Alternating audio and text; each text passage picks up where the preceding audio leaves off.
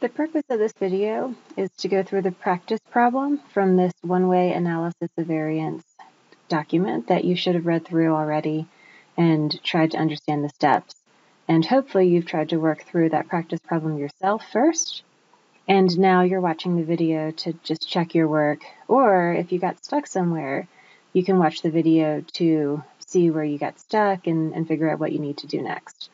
Now, if you would like to see a video that explains what the analysis of variance test is, or the ANOVA test, there is a second video called Analysis of Variance Explained, and Dr. Strode does a nice job during that video. So you have two resources here.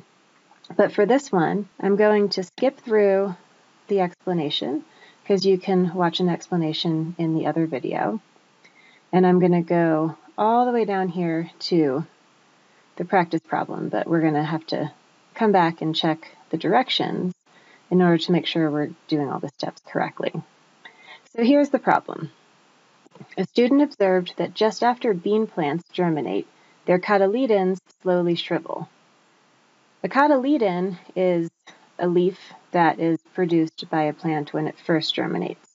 So sometimes they produce two cotyledons, sometimes they produce one cotyledon. Bean plants produce two cotyledons.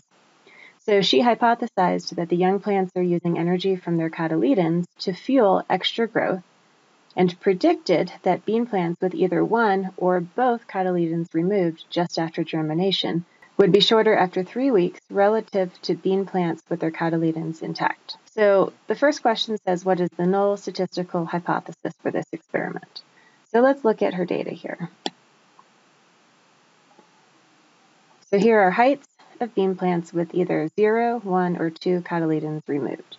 So this group had no cotyledons removed, this one had one cotyledon removed, and this group had both cotyledons removed three weeks after germination. So the null hypothesis would be that this mean is equal to this mean and is equal to this mean, that there are no statistical differences between the means that are calculated, which we haven't done that calculation yet. So now number two says to perform the ANOVA on the student's data to test the null hypothesis. So we have to follow the steps that were given in this sample problem. So first, we're going to determine the treatment totals, the treatment means, the grand total, and the grand mean. So coming back to our data. So here, I've calculated a total of 87.3, just adding all these up, 78.5 adding all these up, and 57.1. The means are 9.7, 8.7, and 6.3. Hopefully you got these numbers or something close to it. So here are the treatment totals that were calculated here. Here are the treatment means. And then in order to calculate the grand total for all scores, then we take those three totals, and I got 222.9. And then the grand mean would be taking that number and dividing by all of the samples, which was 27. So let's come back and look at our instructions again.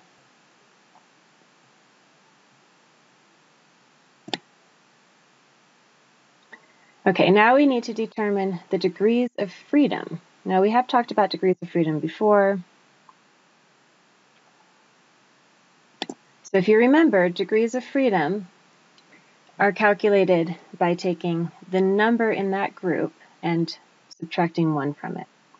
And so to calculate the degrees of freedom between the groups, we take the number of groups, in this case there's three groups, and we subtract 1 from it. So 3 minus 1 is 2. To calculate the degrees of freedom within our groups, now here we have to count up each of the separate measurements within these groups. And so there are 9 in this group, and 9 minus 1 is 8. And there are 9 in this group, so 9 minus 1 again would be 8. And 9 in this group, and 9 minus 1 a third time would be 8. So 8 times 3, because there were three groups, each with 9 measurements in each group, gives us degrees of freedom within of 24. Okay, so let's go back to the instructions again. Okay, so once we've determined our degrees of freedom, now we have to determine this value that's called the sum of squares total.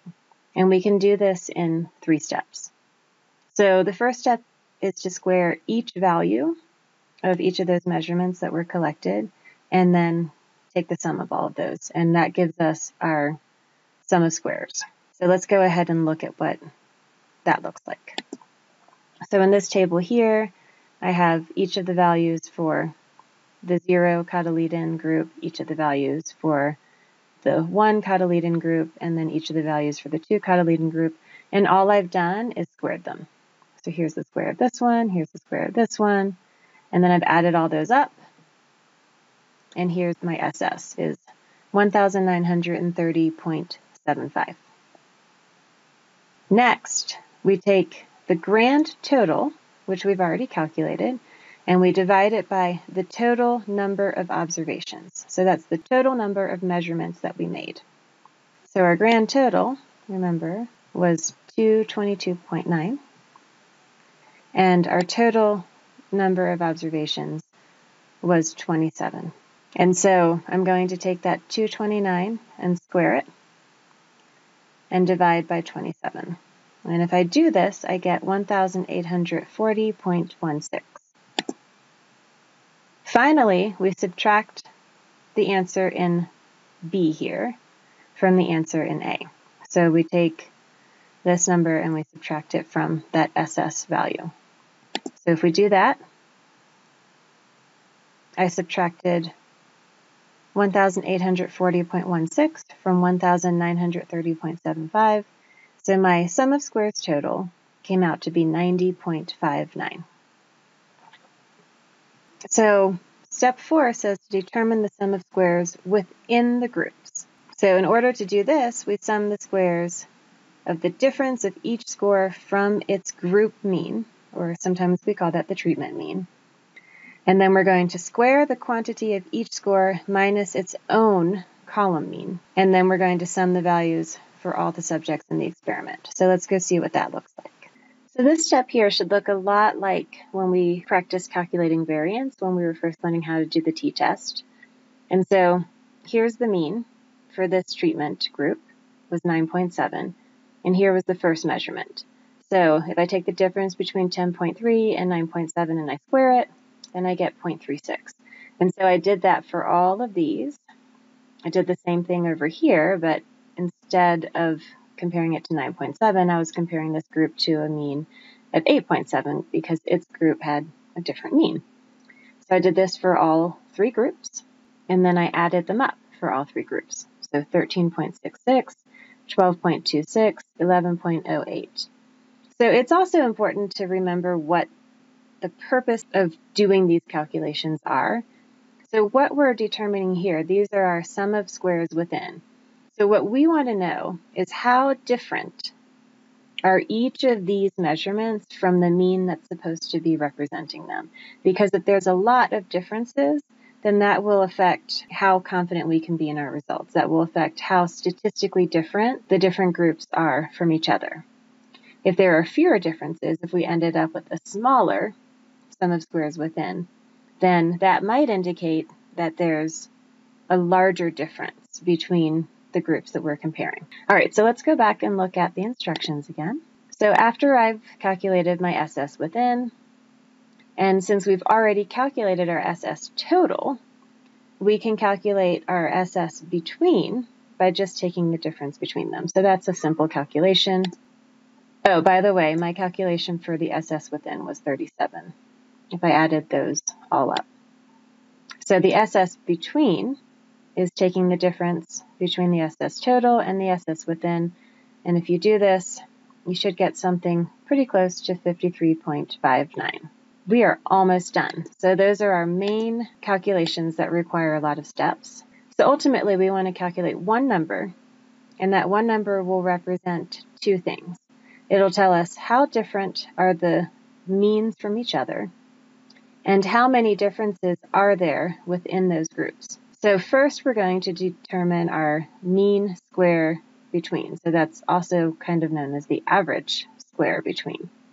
And then our mean or average square within. And we take these two numbers that we just calculated, our SS between and our SS within, and we just divide by degrees of freedom between or degrees of freedom within.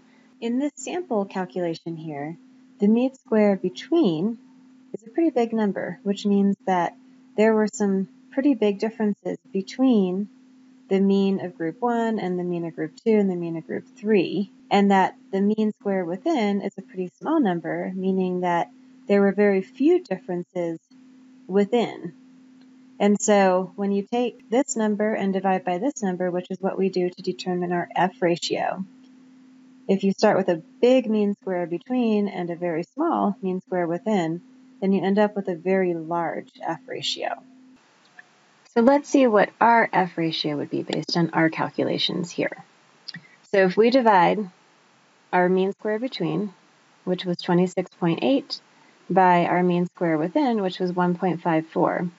And notice here that this is a pretty large number and this is a pretty small number. Then we get an F ratio, or an F observed value of 17.40.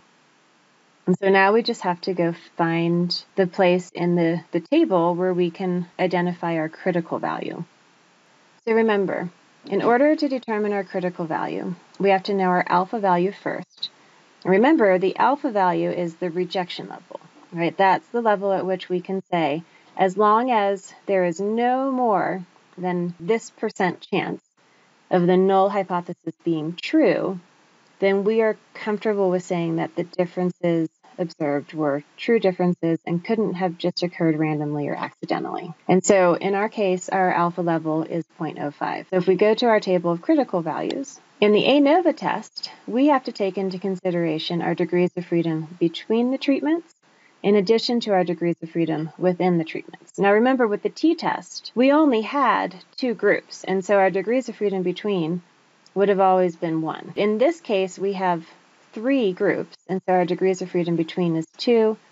And if you remember, we calculated our degrees of freedom within to be 24 because it was 8 plus 8 plus 8. So if I'm in the second column here and I come down to 24, my critical value is 3.40. So my observed F value was calculated to be 17.40, and this is just like interpreting a t-test, where we compared our t observed to our t crit. If the value is larger than the critical value, which in this case was 3.40, then this means we can reject the null hypothesis. And we can say that there is a significant difference between the mean height of the plants with 0, 1, or 2 cotyledons removed just after germination. So I hope that going through these calculations helped you. One last thing that we need to do is plug in our values into an ANOVA table. And so here were all the values that we calculated earlier the treatment totals and the means, grand mean, grand total.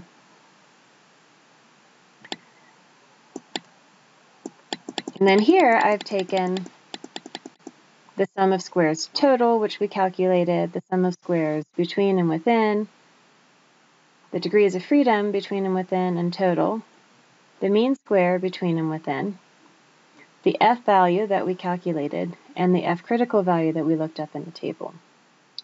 Now, if you were to use a program like Microsoft Excel or some sort of other program that you find online to do these calculations for you, then you would also get a p-value. In this case, our p-value is really, really, really tiny. This makes sense because our f value is much bigger than our f critical value. And so that means there's a very, very, very tiny chance, a very, very small probability that the differences that we observed were due to just chance alone or that the null hypothesis was true. So one last thing to show you is how to do these calculations using Microsoft Excel. So here I've plugged in all my values into an Excel spreadsheet. And your version of Excel might be different from mine, and um, you may or may not have this feature, and feel free to come see us if you want to see if your Excel program has this data analysis feature that mine does. But I go up to data, I go to data analysis, and I find analysis of variance, single factor is what we're doing here. And what's nice about this is I can just highlight the entire group. And since I want my labels to be there, I'm going to click Labels in first row. My alpha is already set at 0.05. If I don't click Output Range here, then it'll open up my table in a different page, but I like everything to be on the same sheet.